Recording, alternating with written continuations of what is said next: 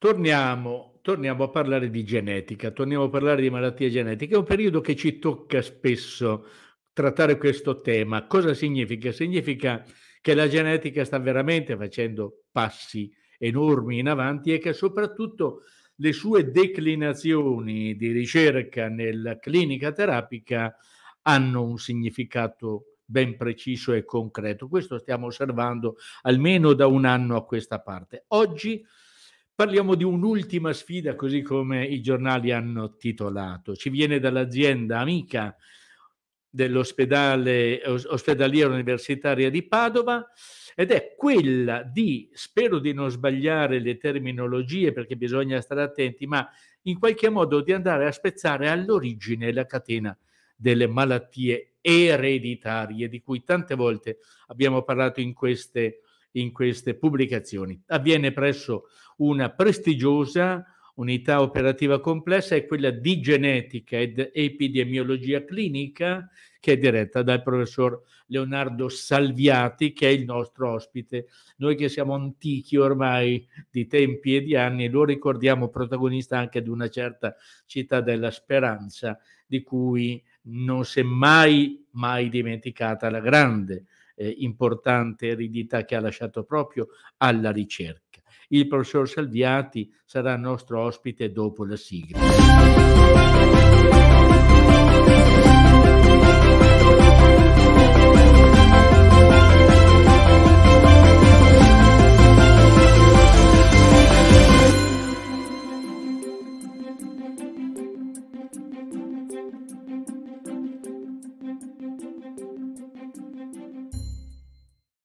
E diamo allora il nostro benvenuto, è un piacere conoscerla direttamente personalmente, professor Salviati. Buona serata. Grazie, grazie di avermi Allora, invitato.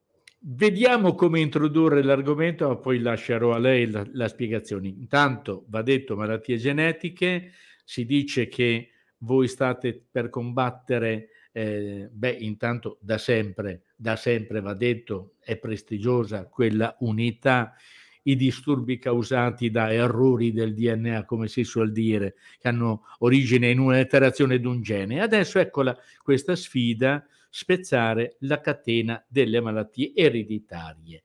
E non stiamo parlando di una cosa di poco conto, quindi ci introduca a questo argomento. Qual è il tema che oggi trattiamo?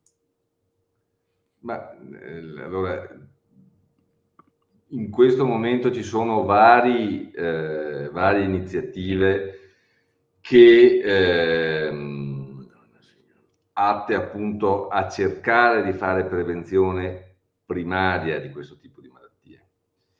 E eh, il, primo, il, il, primo livello che si, che si può fare è eh, quello dello screening di popolazione lo screening di popolazione in questo momento però è limitato a due malattie eh, genetiche che sono la fibrosi cistica e eh, l'anemia mediterranea e le altre patologie dell'emoglobina. Perché sono patologie, noi le chiamiamo autosomiche recessive, ciò significa che sono a rischio di avere eh, un figlio ammalato le coppie in cui tutti e due i componenti sono portatori sani di questa condizione. I portatori sani sono, come dice appunto la parola, sani, quindi non hanno la malattia, ma possono essere individuati attraverso specifici test.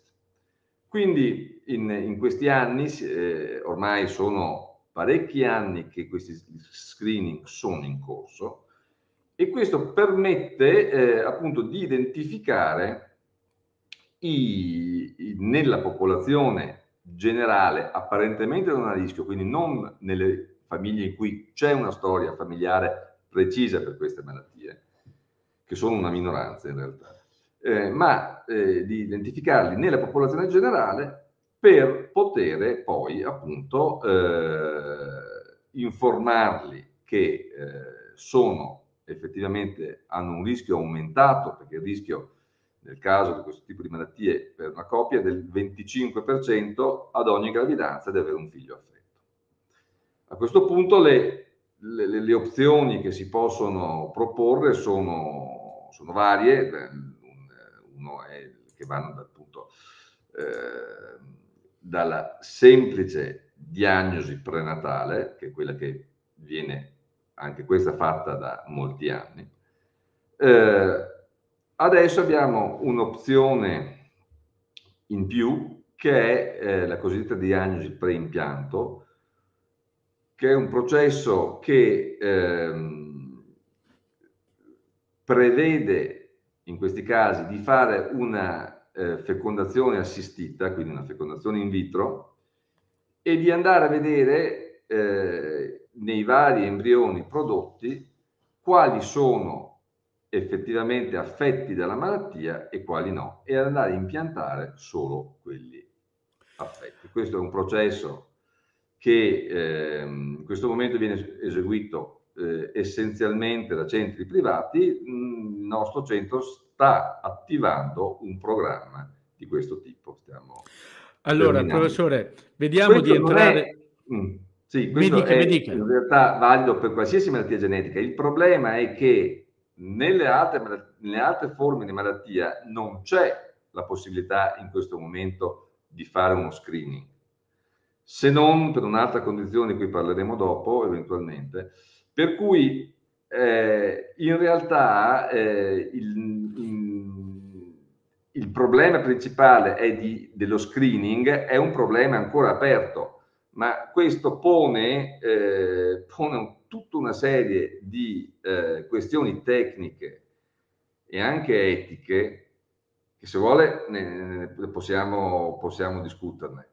Eh, però di fatto fa sì che eh, l, attualmente appunto gli screening proposti e che sono riconosciuti dal livello della regione sono questi due in epoca preconcezionale.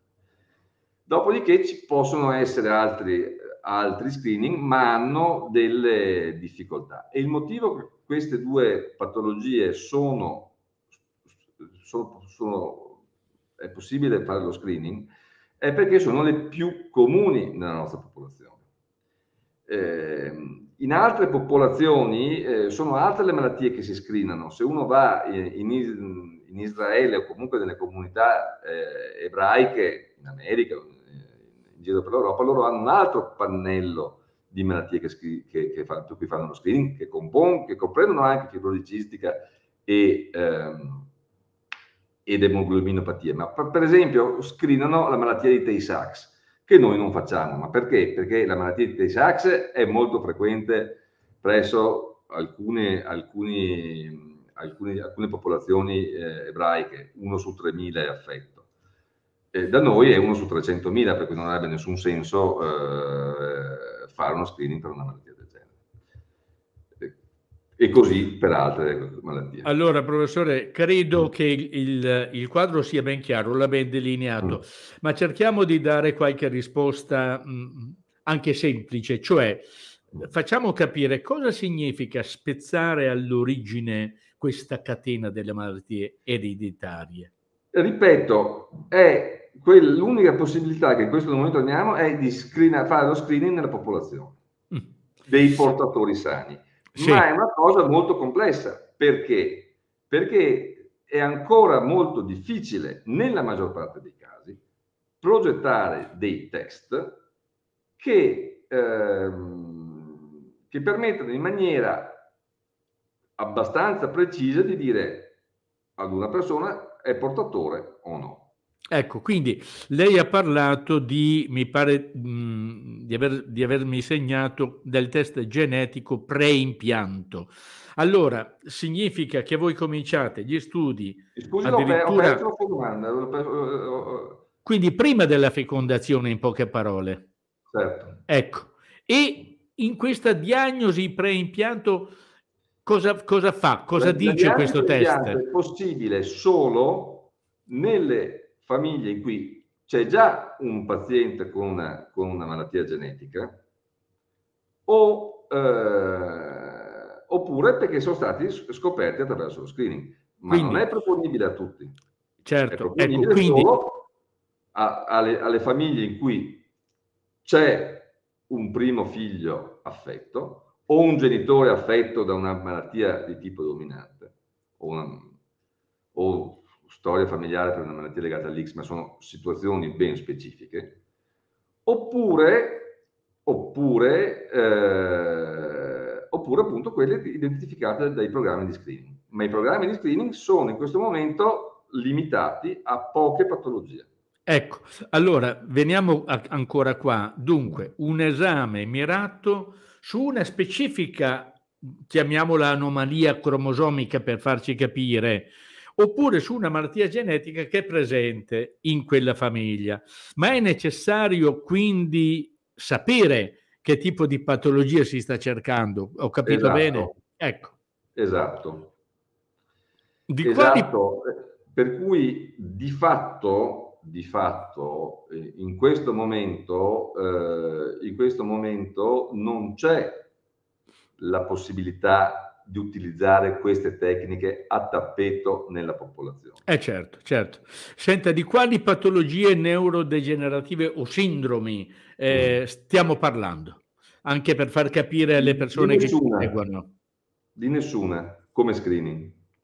Ah. L'unica che per cui adesso partirà lo screening neonatale, che è una cosa diversa, una cosa completamente diversa, perché si fa nel neonato e si fa per le malattie che sono invece trattabili, è l'atrofia muscolare spinale, che è una malattia degenerativa eh, non del cervello, ma dei, dei, dei, dei motoneuroni eh, periferici. È una malattia che fino a poco tempo fa era mortale, adesso abbiamo delle terapie efficaci e che però devono essere messe in, eh, messe in atto il prima possibile per poter funzionare. Per cui nei, nelle prossime settimane, non so dirle la data esatta, ma eh, credo che sarà entro l'anno, eh, partirà un programma di screening, in altre regioni è già partito, ma noi siamo proprio eh, stiamo attivandoci proprio questione di eh, settimane, non dico giorni perché credo che non sia il primo novembre, probabilmente il primo dicembre, però appunto è questione veramente brevissima, tutti i neonati per cui già vengono screenati per una serie di malattie, che sono malattie per lo più del metabolismo, verranno screenati anche per questa forma. Ma ripeto, lo scopo è diverso, non è quello di prevenire la malattia, ma è quello di prevenire i danni della malattia. Lo screening neonatale, eh, soprattutto lo screening neonatale allargato, eh, il famoso screening no, metabolico per capirci, giusto? Esatto, è una, questa è un'estensione dello screening metabolico allargato che viene fatto a Vicenza, a Vicenza, mi scusi, eh, tradisco le mie origini, a, a Verona e a Padova, eh, i, due, i, due, centri dello screening eh, metabolico allargato. E lo screening a, alle varie patologie che già adesso non vengono screenate si aggiungerà anche l'atrofia muscolare spinale, che sarebbe una patologia potenzialmente screenabile anche nella popolazione prima in epoca preconcezionale, ma sono questioni di politica sanitaria perché lo screening è semplice ed è, disponibile un test poco costoso e, e, e, altamente, e altamente specifico, perché una riesce a identificare la, maggior, la stragrande maggioranza dei portatori sani. Ma qui è una questione di politica sanitaria per cui in questo momento non si, eh, non si è ancora parlato di, di, questo tipo di programma. In altri, in altri posti, in altre nazioni sono partiti dei progetti pilota, tecnicamente è fattibile. Eh, però appunto queste, il preconcezionale è ancora problematico perché per vari motivi, perché sono disponibili anche dai, presso laboratori privati alcuni pannelli di portatori. Si possono fare, si possono fare alcune altre malattie eh, abbastanza, in maniera abbastanza semplice, ma questo è un qualcosa che non è ancora implementato eh, a livello del sistema sanitario nazionale o regionale. Eh, ma anche lì le, le, le malattie effettivamente screenabili sono poche perché eh, per questioni tecniche eh, e per questioni legate al fatto che le nostre conoscenze sono ancora estremamente limitate, nonostante l'immagine, le, quello che eh, informazioni che tenderebbero a essere date al pubblico. In realtà noi abbiamo ancora enormi difficoltà nell'interpretazione dei dati genetici. Certo. Per cui anche malattie che conosciamo da 30 anni, molto spesso abbiamo delle varianti che, il cui significato non è chiaro, quindi non sappiamo dire se quella variante in questione sia patologica o meno e soprattutto che quadro può dare, perché un conto è, da, è una, una, variante che causa una malattia grave, infantile, e un conto che, che, che possa dare variante, un, un, quadro ad esordio a 50-60 anni eh, e fra 50-60 anni chissà che... che perché, perché, come lei ricorda eh, la malattia può essere frutto di quella combinazione tra appunto i due genitori, però una mutazione ex novo è sempre possibile, giusto? Ci sono le mutazioni ex novo, le, le de novo di, di, solito sono a causa delle, pato, delle patologie dominanti mh, mm, e quelle sono poco, eh, sono poco, eh, sono poco prevedibili. Esistono anche dei, ma in, in questo momento nessuna delle società scientifiche eh, tutta, o meglio, tutte le società scientifiche sono assolutamente molto caute nel proporre dei test genetici fatti alla cieca eh, in epoca fetale.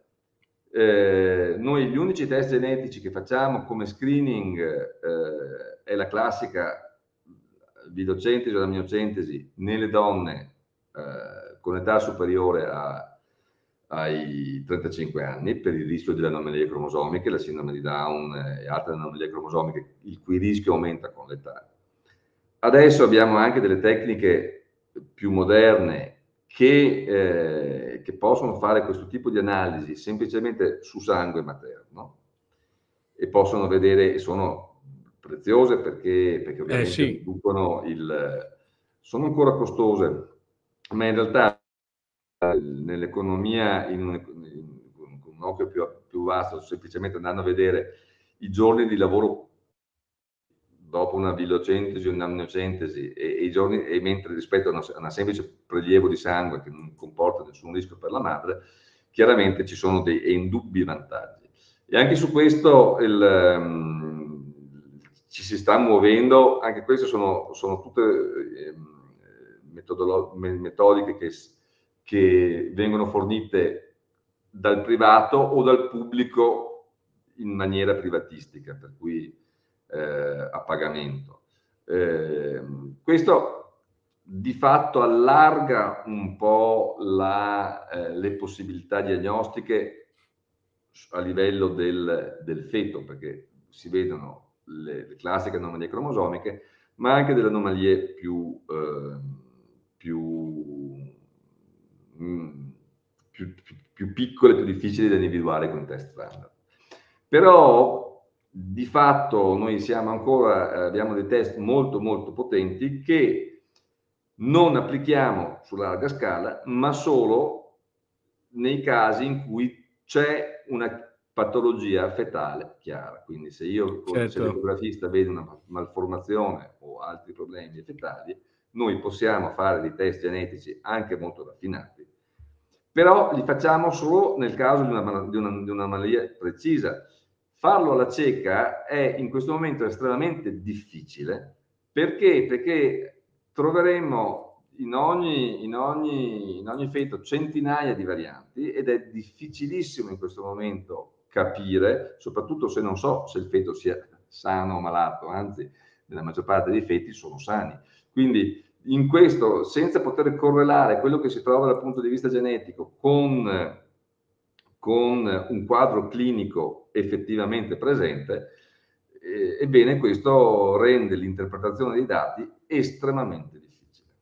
Per Però voi state, state, continuando a investire in questi settori, il sequenziatore, avete sì, rapporti con delle reti europee in generale? Soprattutto per capire, per riuscire a fare le diagnosi in chi le malattie ce le ha. Perché in questo momento, se noi riusciamo a capire nelle famiglie in cui c'è un paziente con una malattia eh, che noi presupponiamo sia genetica, ma non sempre sono malattie genetiche, certo, genetiche certo. In, in, senso stretto. Riuscire ad avere una diagnosi permette in quella famiglia di dire sì, è una condizione che è a rischio o meno di ripetersi e poi proporre la diagnosi prenatale, la diagnosi per impianto o, o alle altre opzioni che ci sono. Ma certo. questo, ripeto, non è un qualcosa che in questa fase è proponibile a tutta la popolazione, ma Ho solo capito. alle eh, condizioni. Cioè mi pare, mi pare che sia stato ben chiarito, professore. Senta, le faccio l'ultima domanda generica per capire un poco il trend di pazienti che hanno o sono a rischio di avere una vera malattia genetica. Com'è il trend?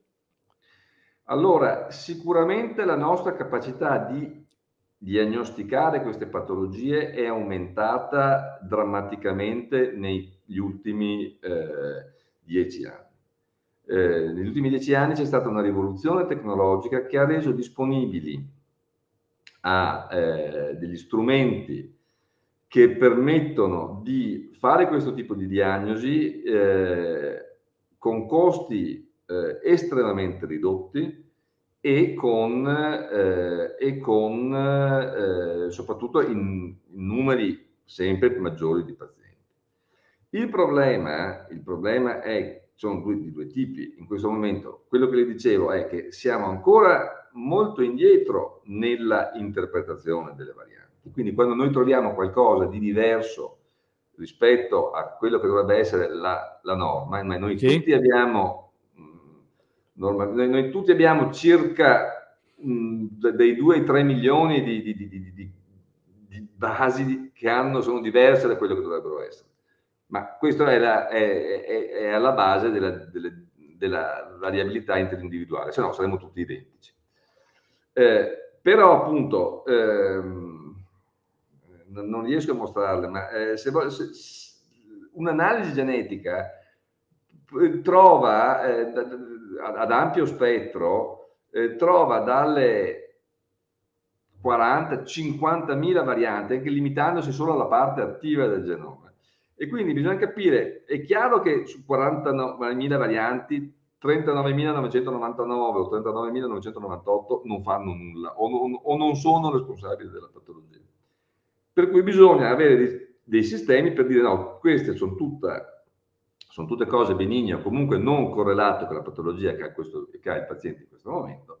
Allora, questo è il... e qui ci sono enormi investimenti in intelligenza artificiale, in quello che si usa, però rimane comunque, rimane comunque un, un, un, un, lavoro dove l'esperienza e la, e la la preparazione dell'operatore, quindi del biologo o del medico che a volte eh, fa la refertazione, quindi guarda questi risultati e dice sì, questa è la, la, la causa, oppure no, dice guarda, non troviamo niente, o non troviamo niente che sappiamo interpretare. Allora, questo è in questo momento il fattore limitante.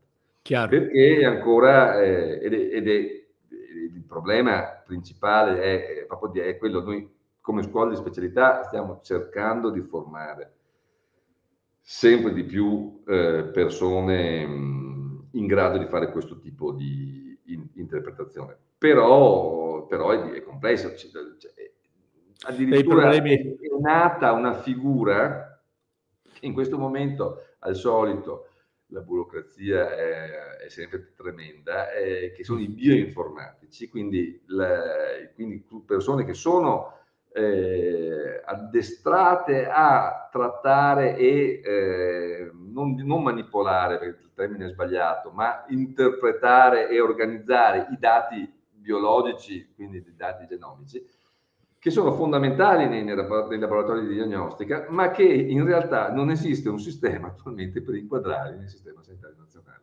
Per cui, oltre ad essere pochissime richieste dalle industrie. Quindi è, in, è ancora un lavoro molto molto complesso e, e, e, tante volte il, tanto del nostro lavoro di ricerca è eh, basato su sistemi in laboratorio per appunto validare quello che si trova. Quindi io trovo, sono convinto che sia patologico, ma ho bisogno a volte di un sistema, di un esperimento, di un, di un organismo modello, di un, di, un, di un, qualche sistema, ne abbiamo vari, eh, che ci dica sì, effettivamente questa eh certo. cosa qui è patologica. Insomma, la strada la si sta percorrendo, ma è ancora molto lunga, se, mi, se ho capito bene, professor Salviati. Sì. Però l'importante è andare avanti. Dobbiamo chiudere. Eh, ringrazio allora Leonardo Salviati, che ricordo dirigere eh, l'unità di genetica e epidemiologia presso l'azienda ospedale università di Padova. Eh, se ci fossero novità, se avrà piacere di metterci ogni tanto al corrente, aggiornarci sugli sviluppi, noi siamo qua, professore, sempre a disposizione. Intanto le, faccio, le auguro. Le faccio un'ultima, un'ultima sì. per dire la, l'enormità della nostra ignoranza, perché eh, tutti... Eh. Noi, il, il genoma umano contiene circa 20.000 geni, ma di circa la metà noi non abbiamo la benché minima idea di cosa servono. Tuttora. Quindi, come, le galassie, come le galassie nell'universo. Esatto, eh, per cui voglio dire, ne abbiamo da imparare di cose prima di... prima di... Vabbè, la ringrazio. A presto allora, buon lavoro davvero, a presto.